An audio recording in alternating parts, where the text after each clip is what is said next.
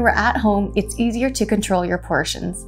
For most of us, we are measuring our foods, so it's easy to stay on top of our nutrition. But when we do go out and we have a party, we shut our brains off and eat unconsciously. Would you be able to serve yourself 3 ounces of chicken if you didn't have a scale handy? And what does 3 ounces of chicken look like? Learning to measure food portions is a handy skill, and many people do it with a digital kitchen scale.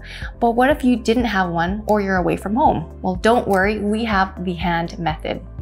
The actual amount of food your hand can hold will depend on the size of your hand and on the type of food that you are measuring. So use these tips as a general guide to estimate basic serving size equivalents. So one hand, one fist is actually one cup and one ounce of food is actually the meaty portion of your thumb.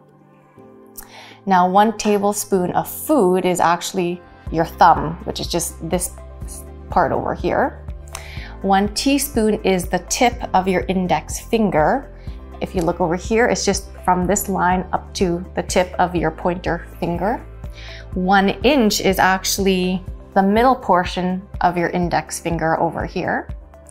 And one to two ounces of food, for example, nuts or pretzels, is actually your hand that's cupped, okay? Now, um, and three ounces of meat or fish or poultry is actually the palm of your hand over here. You now have learned new skills that you can take with you for the rest of your life. In a perfect world, if we had a food scale and measuring cup with us everywhere, would keep our macros on point. But realistically, we're going to have to make it work temporarily.